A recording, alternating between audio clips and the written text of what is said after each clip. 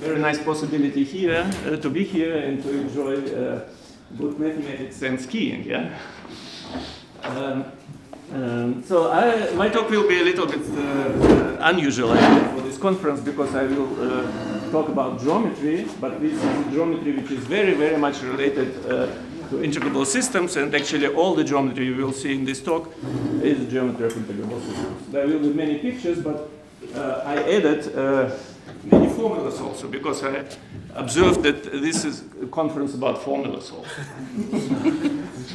so um, mm, uh, the topic is orthogonal ring patterns uh, and how they are related to discrete surfaces and of course to integrable systems. And it is based on uh, various joint works with uh, Tim Hoffmann, essentially he is one of the main authors here, and also with uh, Thilo Rörig, Nina Smeenk, who is uh, here, yeah, and doing uh, video recording. That's what I do. and uh, Sebastian Heller uh, we were working on smooth surfaces. If you see smooth surfaces in my talk, then that's a joint work with them. Okay, so first of all, uh, uh, orthogonal circle patterns. Um, they are defined in a very uh, obvious way. Uh, these are orthogonally intersecting circles, and they build patterns. Uh, the simplest way is with the combinatorics of the square grid. You can imagine the standard square grid. Every uh, square has its circumcircle, and then these circumcircles. Uh, uh. There is nothing to show it tomorrow. so, um, and these circles intersect orthogonally, but now you go away from this standard square grid and uh, let these, uh, all these circles to vary in such a way that uh, they still, they're still orthogonal. Here you see an example, uh, and uh, I think a rather fundamental paper uh, was written some time ago. It's by Oded Schramm about circle patterns with the combinatorics of the square grid. There are many, many results there, and one of important points is that you have a convergence to conformal maps. So, and this builds a bridge to complex analysis. Yeah, so in a way, it's a conformal theory. Uh, uh, and more generally, circle patterns, uh, not necessarily with orthogonal intersection, but more general, are treated nowadays as a version of discrete complex analysis with, uh, uh, well, one highlight, uh, this theory was the discrete Riemann mapping theorem, which is essentially by Thurston. And what is very important for this conference, everything is related to integrable equations. So I will start with the first integrable equation. This is an equation, uh, integrable equation for orthogonal circle patterns. Excuse me, so I, I'm not so used to this. So what, what is the definition? I can almost guess it from the drawing. But So here you have uh, where circles intersect. yes. You take tangent lines, and they intersect orthogonally. So these two circles touch, but this one intersects these both orthogonally at the common intersection point. Yeah? So here you have one dotted circle and four neighboring circles, such a flower, uh, and uh, all of them orthogonally intersecting, and therefore these two are, for example, touching. Yeah? So now you take the radii of these circles, and you can observe that they satisfy this equation. R is the radius of the central circle, and R1 and so on R4 are for neighboring circles. So, and here you can recognize uh, the Hirota equation, in integrable Hirota equation, and that's the starting point, yeah? So now we will uh, go further, so I hope I convinced you that this theory has to do with integrable systems. Now let's uh, do this com- more complicated. Okay, my talk will be about, uh, will be on orthogonal ring patterns.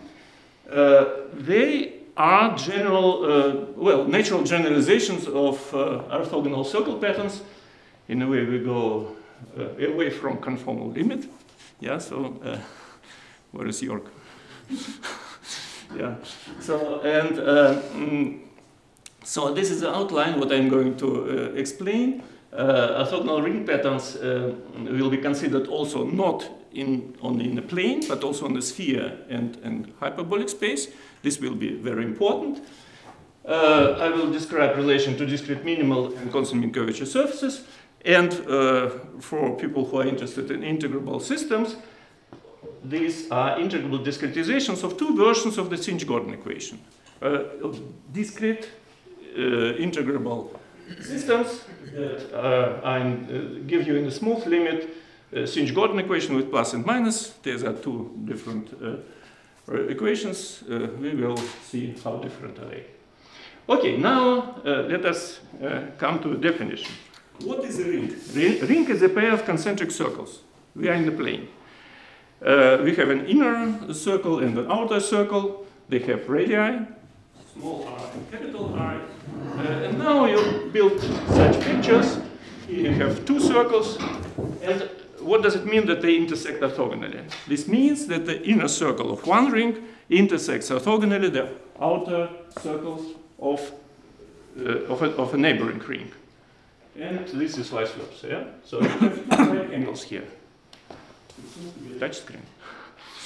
If radii are the, are the same, then you No, no, no, no. back to the All radii, radii, radii will satisfy some equations. Yeah? If rings become infinitely thin, uh, do you I will come to this, yeah?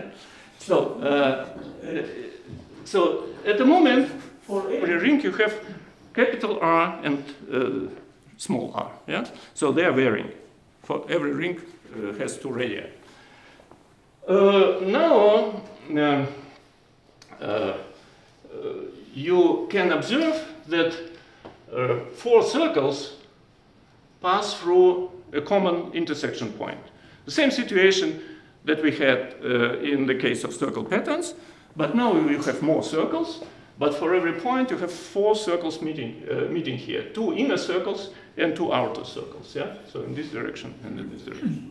So that follows from the definition. Now, um, uh, let's uh, look at the. Yeah. Short question. Hirota equation, maybe not so simple as you wrote, but generally has many, many solutions. Yeah. In, in this case, this is just one particular solution, right? No, any solution. The Hirota equation. will Those give you which corresponds to, to these pictures. Well, these pictures have nothing to do with Hirota. Hirota was the case of circle patterns. Yeah. Right. Now we are talking about ring patterns. Yeah. So I don't come to the equations. Hmm. We are not yet there. Okay. So, uh, so uh, again, Hirota equation described as radii for of an orthogonal circle pattern. Yeah. And any solution of a Hirota equation gives you such such a circle pattern. But uh, if your solution is generic, then these circles will be uh, overlapping, and this is a mess.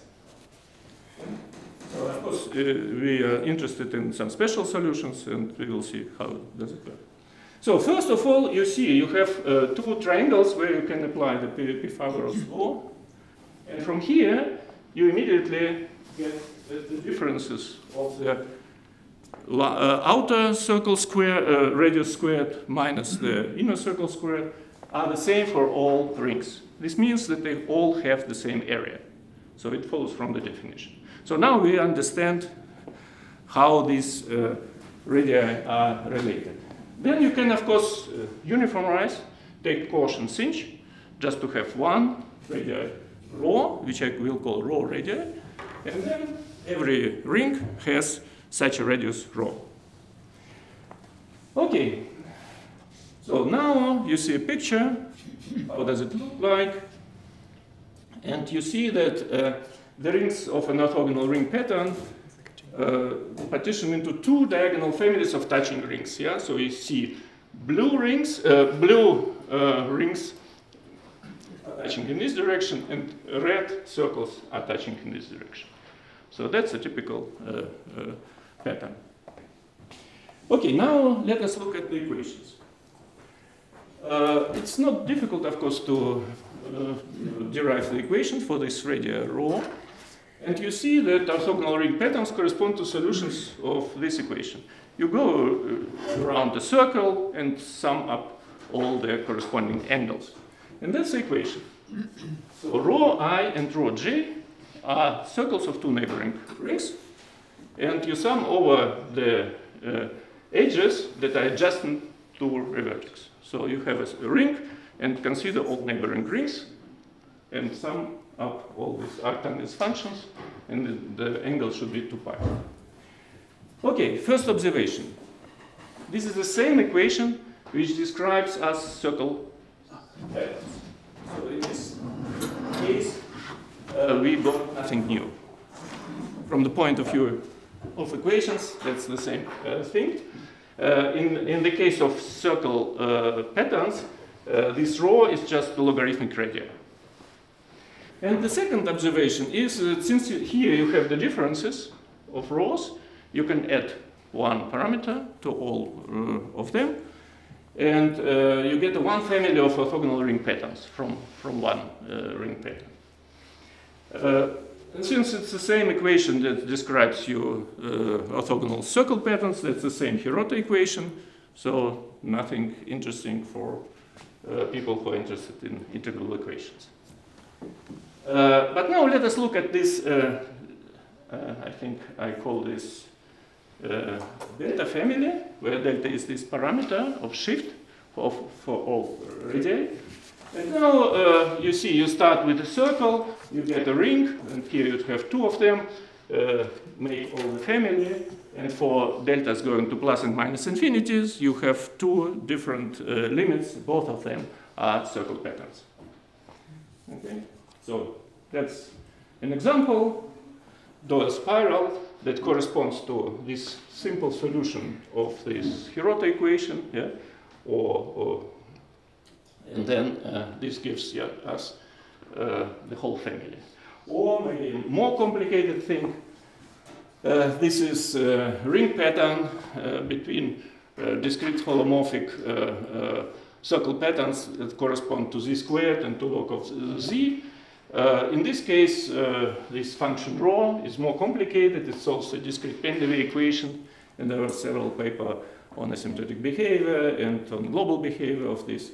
So this case is well investigated, and now we have connected them by uh, our delta family.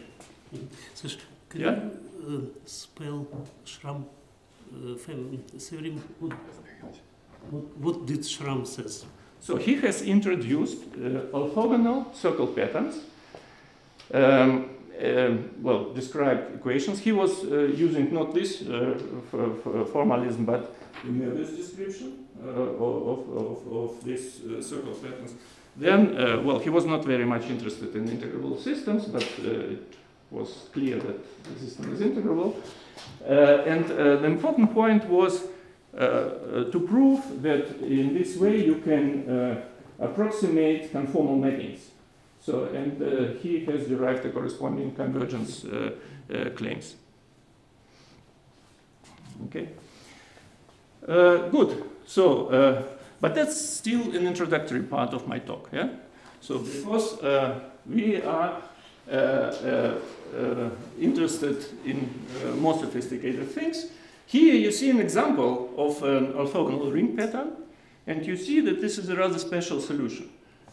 You see that we have a quadrilateral with arbitrary angles, and still we can get a ring pattern which uh, goes along the boundaries.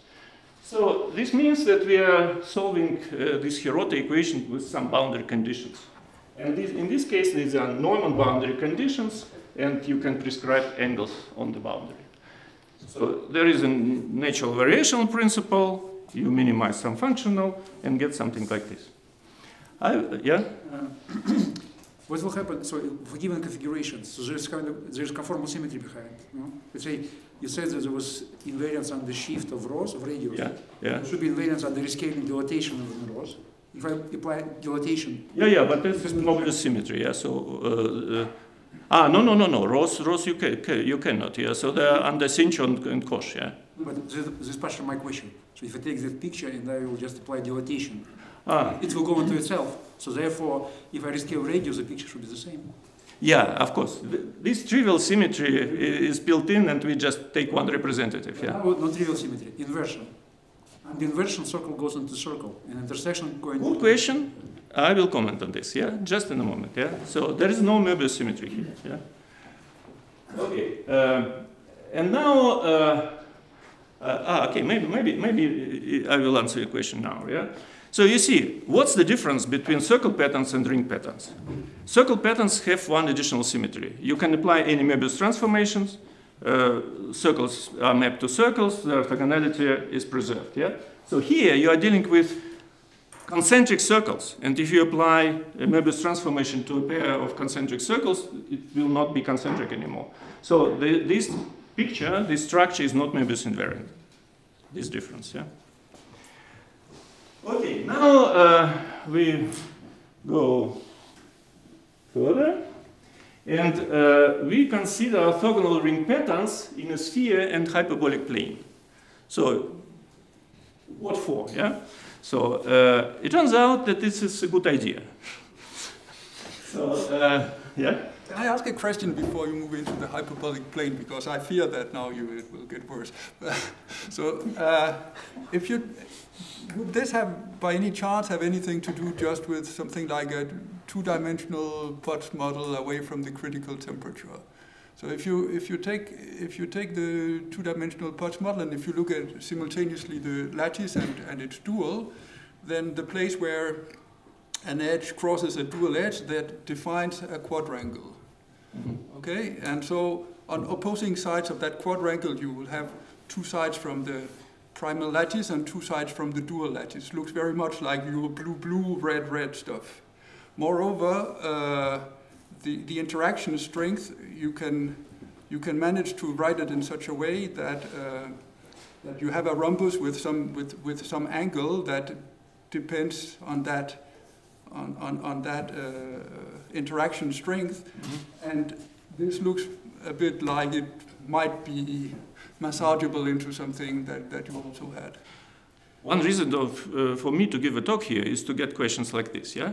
So, but let us meet together after the, the talk and I will answer your question, yeah? so, I, I, really need feedback, yeah? So, how useful it is. I don't know the relation to Potts model in this case, yeah? So, if you explain here what's the relation, it would be great, yeah? So, but uh, let me continue with uh, other things. I'll follow you into the hyperbolic plane. no, uh, well, actually, essentially it will be a sphere. It's round sphere, two-dimensional. it's as simple as a plane. Yeah?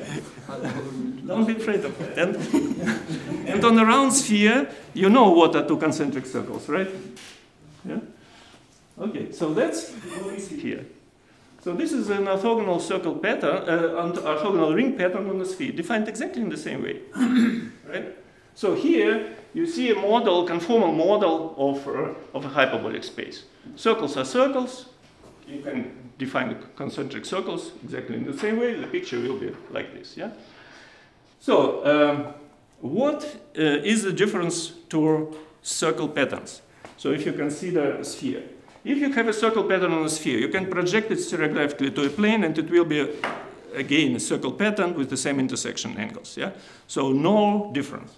Here, if you have ring patterns, this doesn't work. Again, that's uh, symmetry. And also, therefore, equations are essentially different from the Euclidean case. Yeah? So that's what we will see. Uh, again, there will be a relation to integrable systems, and also I will see I will show you uh, what kind of structures we can generate. So that's uh, what I'm going to do now. But first of all, I'm sorry, we are here, we are on the sphere. So there are concentric circles on the sphere. And now you uh, apply Pythagorean law in spherical geometry, so which is not much more difficult. So that's, these are the radii the sphere. These are the radii in the hyperbolic space, and that's a Pythagorean law in spherical geometry, and this is in uh, uh, hyperbolic geometry. So same thing, essentially. Uh, you remember that from such uh, uh, simple considerations, we have derived that our rings all have the same areas yeah, in the Euclidean case. Now, we also have an integral from here, immediately, you see that the quotient of cosines of capital R and small r is also constant for the whole pattern. And here you have the same fact for cosh in the hyperbolic case. Now we have one invariant q, and which is less than 1. So if it's equal to 1, then they coincide, and we are in the circle uh, pattern case. So if q is smaller than 1, then I think that's uh, a notation you, you uh, usually use in, in, field theory. So it's a parameter, and uh, this will be a parameter of uh, modulus of our elliptic function. So because you can resolve these systems in elliptic functions, and that's a parameterization. So we have this formula with a given q, and then you can parameterize cos, cosine r, sinh r, uh, sine r, and sine of capital R through standard Jacobi elliptic functions. That's, uh, that's a parameterization. And then you have one-to-one -one correspondence now between this pair of radii on the circle, or on the sphere, and this uh, rho, which is now uh, an argument of our elliptic function. So it's a point on an elliptic torus, yeah, somewhere here. Okay, so that's a parameterization for the sphere. Now what you can do next, you are interested in deriving equations. and uh, then uh, the computations are, of course, a little bit more involved. Uh, well, we introduce such function arctangents of uh, this elliptic function. The graph of this function looks like this. It's monotonically increasing function. And uh, their equation, you remember we had this equation for the differences of the uh, of this radii rho in the uh, Euclidean case. Now you have differences and uh, sums. Uh, and again, uh, this sum is taking over all neighboring vertices. So it's an equation a star of your graph. For every point, you look neighboring rings, and this equation should be satisfied. You see that uh, this equation actually is variational, yeah, so you can write a variational principle, yeah, and that's a functional. So uh, the theorem is as follows now. Orthogonal ring patterns uh, are critical points of this functional. Uh, I think it's an interesting uh, functional, uh, I will explain you why. Uh, the first sum is taking over all pairs of neighboring rings. So it's a sum over letters, and now it's a sum over edges. Here, you have the sum over uh, the uh, vertices. And this is a function which, uh, which stays here. Essentially, it's an integral of the function which we had uh, and this is a convex function, yeah? It looks like this. That's the graph of this function. So now it's interesting to look what is this function in the circle pattern limit. Because uh, in this case, you have this limit, q goes to 1, and this function will be given in terms of uh, dilogarithms in uh, the circle pattern limit. So in this way, it's a sort of elliptic generalization of dilogarithm. Yeah? Uh, well, it depends. So, yeah? There's also Q generalization of dilogarithm. Is this the same? That I don't, that I don't know. So probably one should simply uh, compute the power series at, at, zero and compare, yeah? So, well, uh, I would be grateful if you tell me, okay, this appeared already somewhere, yeah? So in, in field theory, yeah? So because it plays an important role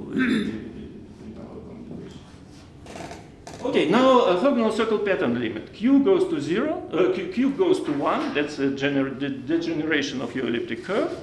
And uh, rho goes to log of tangent of uh, half of the radius. And then you see here that that's numerically what happens if you increase Q and in the limit Q goes to zero. Here, the rings look like this. Here they are a little bit thinner, and here they degenerate, almost degenerate to circles. Yeah? And now, again, one more theorem, what you can prove. Uh, the theory of circle patterns is simpler than the, uh, the theory of uh, uh ring patterns. And this functional is not convex functional, therefore uh, it can be used for computations, it can be used probably to prove existence in some special cases, but not in general. Uh, uh, but if you are close to the circle pattern case, then you can prove the existence of the circle pattern, then perturb a little bit by changing q to 1 minus epsilon, and then by doing some asymptotic analysis, you can prove that in this case, uh, uh, well, you do have the existence by some implicit function theory. So for any rigid orthogonal uh, circle pattern, not degenerated, it means here, and small epsilon, there exists an orthogonal ring pattern with uh, Q. So you prove the existence in, in this way, doing this variational principle. Is it related to Q4? Good question. Wait a moment. I have uh, also li- lit- another literature question. Uh, There is a so- so-called Fekete uh, theory of uh, generating conformal maps through minimization of some variation of functional. Is there any relation? Uh, Fekete, I don't know. Uh, name. no? I don't know. Yeah, yeah, but circle patterns uh, uh, uh, are used for, for conformal, to compute conformal mapping. Yeah, and some generalizations of those. Yeah, I don't know this, this name. Okay, now uh, just few lines about the corresponding picture in the hyperbolic case. Again, you can resolve this condition also in elliptic functions. The formulas are slightly different, but the same uh, claim one-to-one correspondence between the radii and this log uh, and these rows, uh, which are now on elliptic curve. Uh, and uh, the equation looks a little bit different. Yeah, so we had minus, now we have plus here. But there's a big difference because of this, yeah? Because uh, the critical points of the functional, the functional has plus now here, and this means that the functional is convex. And convex functional is a great thing because then you can prove existence, you can prove uniqueness, you can compute just by minimizing this functional. You are computing critical points, but there is only one, yeah, on the bottom of this functional, yeah. So you do some gradient flow and get the result. And the function g, does it have a pole when points collide? Does it depend when rho j close to rho k? Does it depend as, as one over... In this case, it's real valued function, yeah, which is monotonic one, yeah. So the graph of this function was like this, yeah. But when they So you're talking about, you're asking about its uh, value at the origin, yeah, zero, yeah, but it's just a regular point. Yeah. Okay, now the functional is convex, and you can compute the Hessian, and it will be given in elliptic functions. So you see all the terms here are positive. Yeah. Okay, which is of course uh, uh, great help. So, and this uh, allows us to prove the following theorem that for any choice of the boundary radii or angles on the boundary, Dirichlet or Neumann boundary condition, there exists a unique orthogonal hyperbolic ring pattern. So here you have global existence and uh, global uniqueness of solutions of uh, boundary value problem. Okay, now the question about Q4. Yeah, there was a question about Q4. So uh, we switch the topic and uh, uh, come back to our uh, integrable systems. And uh, uh, I will start from the very beginning. Yeah. So, but we will we will get the same equations pretty soon. So, um, in, very simple concept. Integrability is consistency. So, what can you do if you have an equation for four fields sitting at the, the corners of a quadrilateral? Uh, then you can maybe resolve this equation and compute uh, this one through this. And uh, you can put everything on the cube with some generic initial data and apply this uh, equation once, compute uh, the fields at these uh, white dots, and now for, the, for this one, you have three different ways to compute the result. And the equation is called integrable if the results are the same for any choice of this initial data. Okay, starting uh, with this definition, some time ago we uh, uh, classified all equations of this type that have this property. And that's, uh, I will show you shortly the classification uh, table that was uh, so-called ABS list.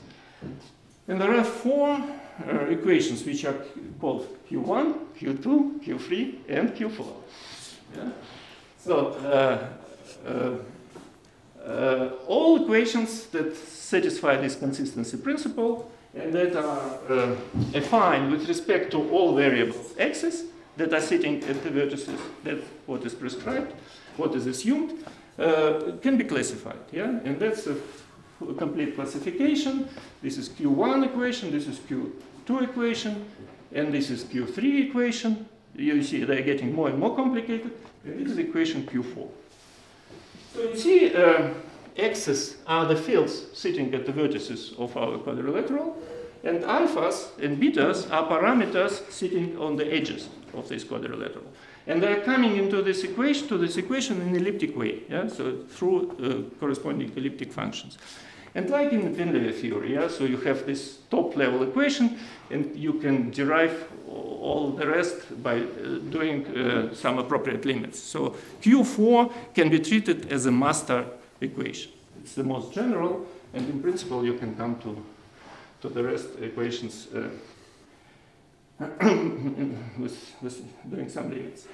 So this is our equation. Uh, and that's what I said already, uh, it, it is parameterized in elliptic functions, and for a long time, uh, problem was geometric interpretation. We didn't have geometric interpretation for the Q4 equation. Now we do have. Yeah? So uh, the claim is that spherical and hyperbolic orthogonal ring pattern equations uh, I will explain what does it mean as a Laplace equation. Uh, they are essentially Q4 equation. And this is one way to write these equations for uh, spherical and for uh, uh, hyperbolic geometries. They are given in terms of these elliptic functions, and our parameters are these rhos. Now we have rho at the central uh, circle, and rho 1, rho 2, rho 3, and rho 4 at four neighboring circles.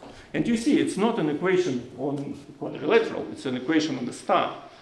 But all these equations, these Q equations, they have a remarkable property that they have so-called three-leg form, and therefore, if you consider four neighboring uh, quadrilaterals, then combining these four equations, you can get rid of all these short edges, and only fields uh, on diagonals will be related.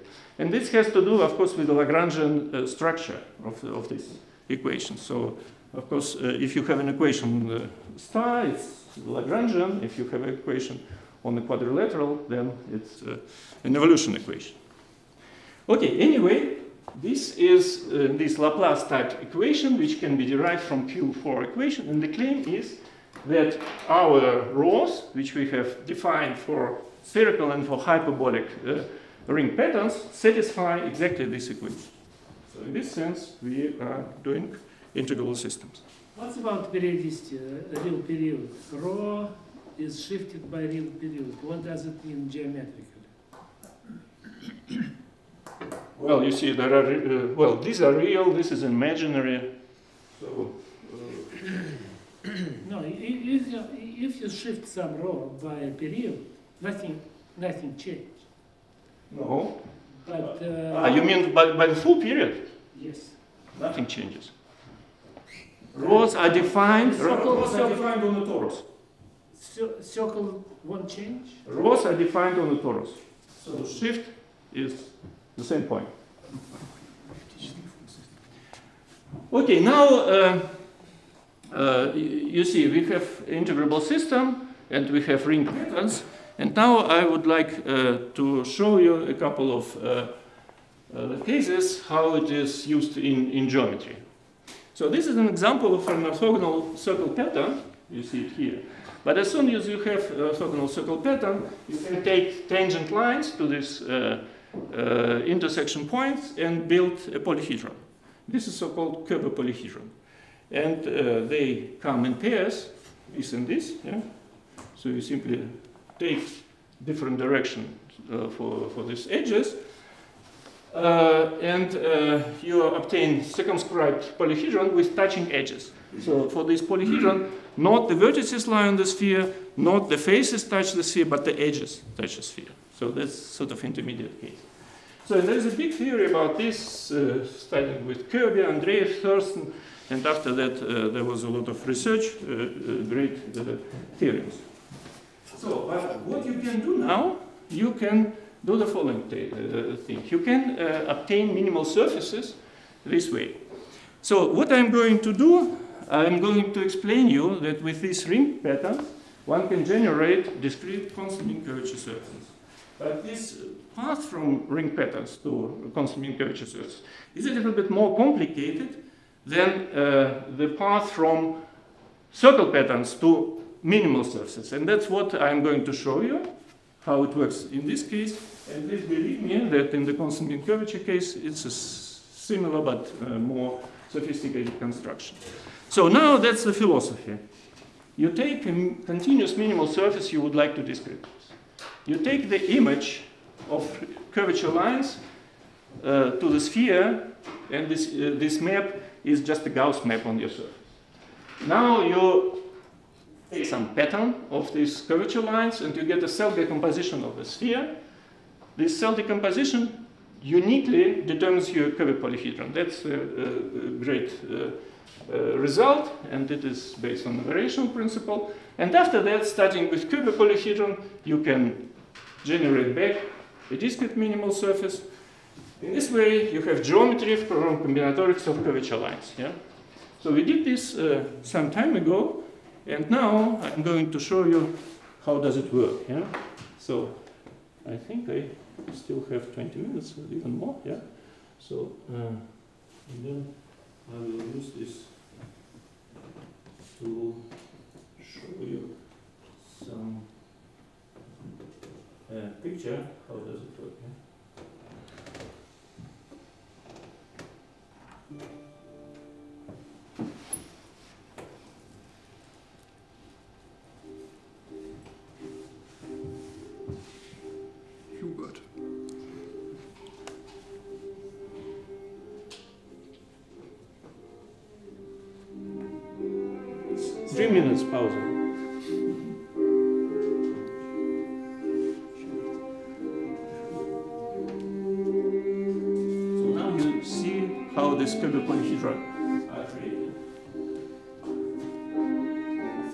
The combinatorics and then you modify the corresponding polyhedron. And since you have uniqueness and existence, there is only one.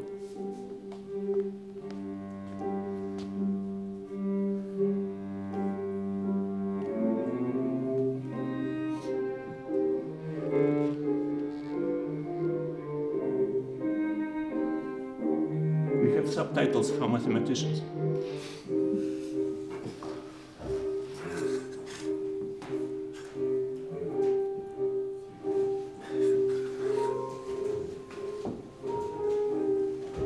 Still, we still have polyhedron.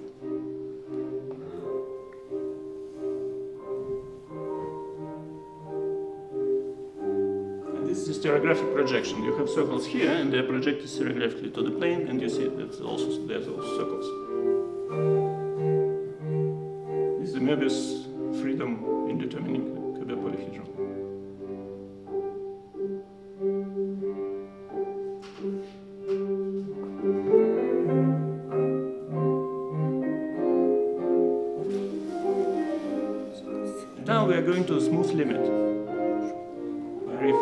Structure more. Ah, not yet, yeah. Sorry. That's how, how, how, how one de- defines the, surf- uh, the, the how one gets the surface. This is a cubic polyhedron, this is a piece of a new surface.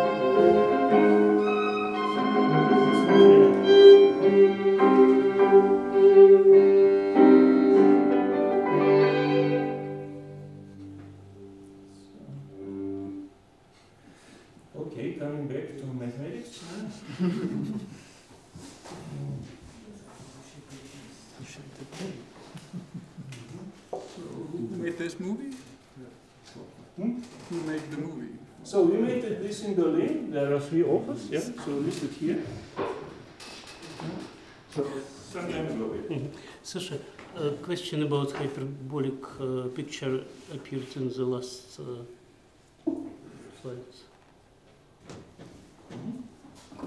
So in the last slide it was a hyperbolic funnel.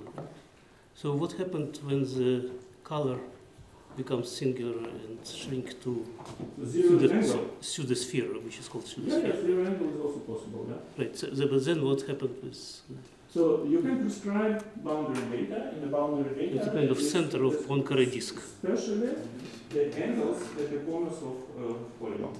So zero angle is okay. So when color becomes shrink to zero, you don't have this picture. Right? I don't have this picture. Yeah, so there are only finite po- po- uh, polygons here, and because uh, we need uh, finite po- polygons.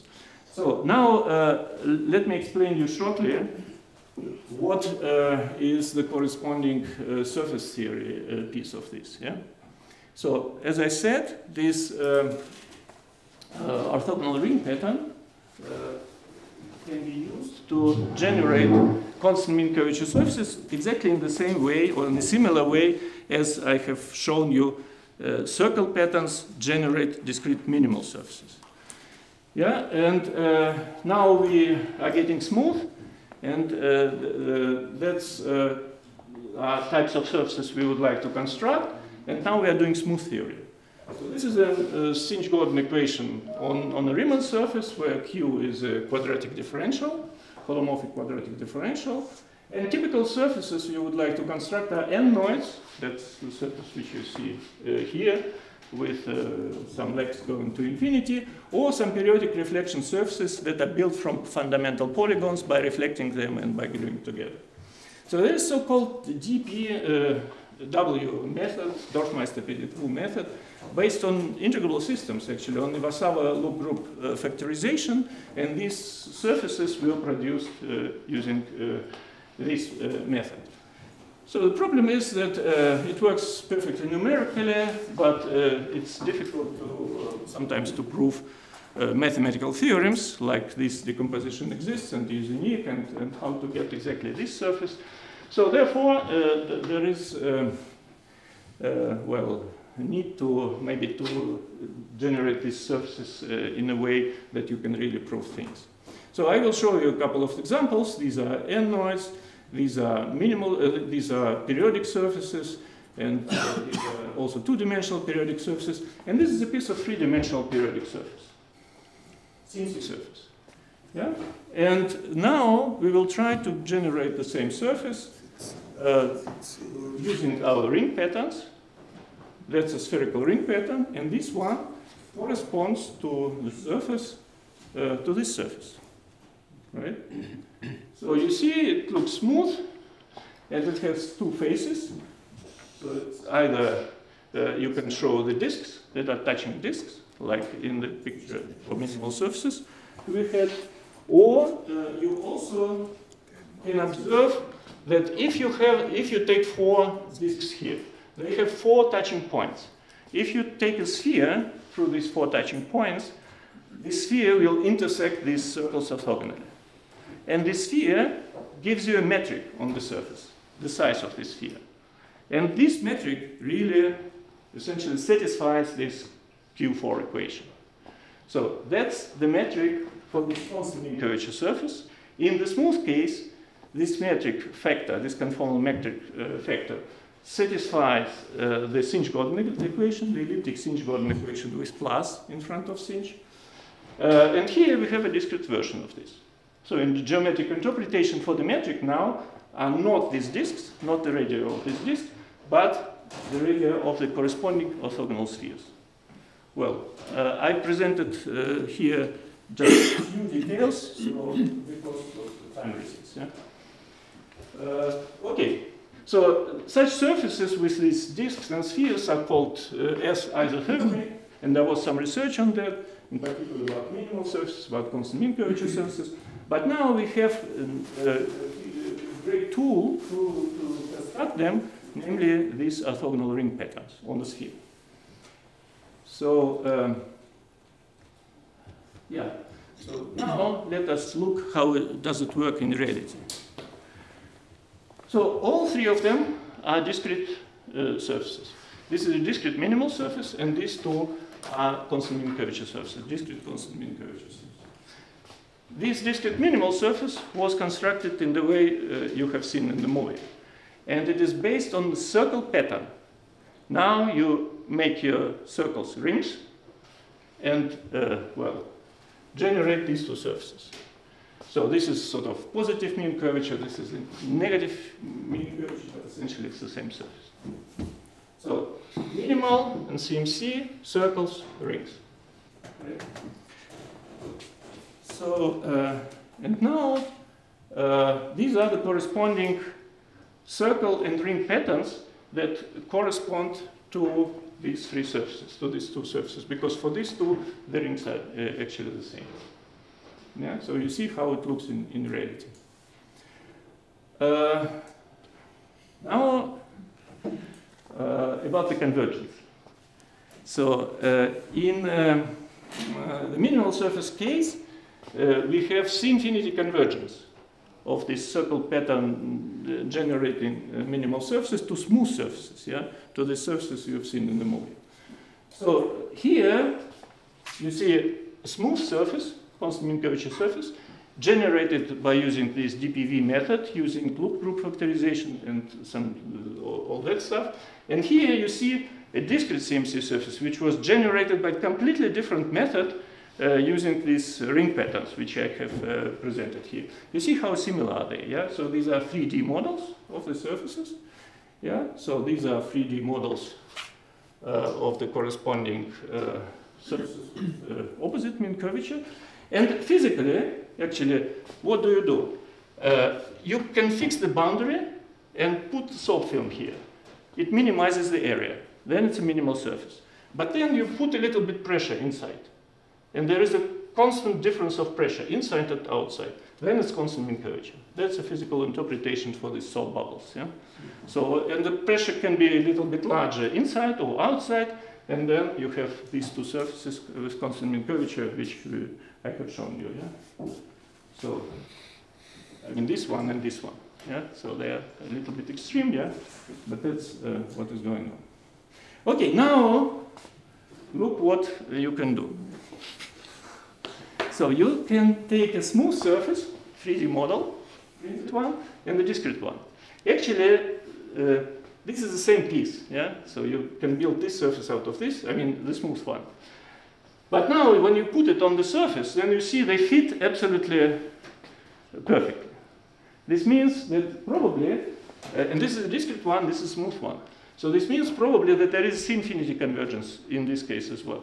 So that would be my conjecture. Yeah, it would be, it would be difficult to prove. Uh, in the minimal surface case, uh, uh, it's it's not so difficult since you have the convergence to conformal maps uh, of uh, circle patterns. Uh, in the ring pattern case, nothing exists. Yeah, so of course there are some methods, but this is an appealing problem. Okay, now I'm close to. to the tails. The, the, the, you have holes, so what happens if you continue this? Uh, Continue what? Things are edible. No. the, yeah, So here. yes. Ah.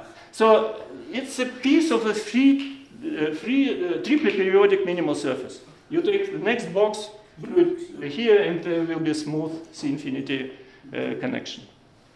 Yeah, so it, it's triply periodic minimal surface in this. So, but of course you can glue Delaunay ends also and construct all examples like this. Yeah. So recently we have published a paper with more than 50 pages, uh, more than 50 pictures. This was a problem uh, with the layout of a journal. Yeah. And it was a journal in, in mathematical physics. Yeah. Okay, uh, good. So now uh, I, I would like to attract your attention to again to smooth uh, theory and discrete theory, which is quite uh, uh, quite near here. Yeah. Uh, well, two sigma models. Yeah. So you can consider minimal surfaces in S3, and uh, that's a different class of surface. But it's, it is satisfied, uh, by- it is described by the same sinh-Gordon equation as surfaces with constant mean curvature. And the surfaces are isometric. Constant mean curvature surfaces are isometric to minimal surfaces in S3. So the, uh, in geometry, it is called Lawson correspondence. This kind of isometry, it can be described on the level, not only on the level of the metric, but on the level of frames, how you can generate one surface from another. The question is, uh, we are trying to solve this. What is a discrete Lawson correspondence? How to generate discrete minimal surfaces in S3 by using our uh, constant mean curvature surfaces and the discrete Lawson correspondence. Yeah, it is still a problem, right, Nina? Yeah, well, we've one, uh, yeah, one numerical kind of example where something closes, so uh, we're on a good way, I'd say. Yeah. So you see, it's it's a, it's a work in progress. So here I show you four faces of the same surface actually. Yeah. So that's a surface which was generated by uh, this integrable uh, theory methods based on the Iwasawa loop group decomposition. And the, you have a surface in S3, and you just uh, consider several uh, various stereographic projections to R3 because this is a picture in R3 and uh, various projections respect various symmetries of the surface and there is a lot of symmetries and therefore uh, you have many faces of the same surface. So our goal is next time I will show you something like this built out of circles yeah? like, like uh, we did uh, for, uh, uh, for CMC case. But the, but the message is spherical orthogonal ring patterns described by integrable Q4 equation uh, with a variational principle uh, probably describe this case as well. That's still conjecture, but it's true in the smooth case, yeah? So hopefully it, it works also in the discrete case. Next slide, yeah? So what you can do, uh, this is also work in progress you can uh, describe uh, minimal surfaces in anti-de Sitter space. They are isometric to constant curvature in this Lorentz space R21. So the difference is not that much. If you look at the equation, then there is minus here and not plus. So, um, and here you see an example of a smooth minimal trinoid in anti-de Sitter. So this is one end, there is another end, and third end. This is sort of two strings coming together and generate the third one. And that also was uh, obtained uh, recently by, by the Iwasawa decomposition method. Uh, uh, it's not so difficult, uh, I think, to generate CMC in R21, and that's what we can soon do in, in using our hyperbolic ring patterns. You, you, remember I was always using these spherical ring patterns, but not hyperbolic. Hyperbolic will give us CMC in R21, and if we will find the Lawson correspondence, the discrete one, then we will be able to generate uh, minimal in anti-de Sitter. So that's, uh, that's, uh, that's a possible, there's a possibilities uh, what to do next. And the message is that hyperbolic orthogonal ring patterns described by integrable Q4, in this case, equation uh, with convex variational principle, which should be really a very helpful thing to prove the existence of uh, such surfaces, uh, are responsible for, for, for this kind of uh, discretization in geometry. So these are uh, some papers. Some of them are still in progress, yeah, so maybe that that's the most relevant paper for what I was uh, talking about. Uh, and uh, that's this triply periodic surface you were asking for. So you see, I prepared this slide for you. yeah, and that's uh, an example of an integrable discretization smooth surface made of porcelain, and that's uh, the corresponding uh, discretization. Okay, thank you for your attention.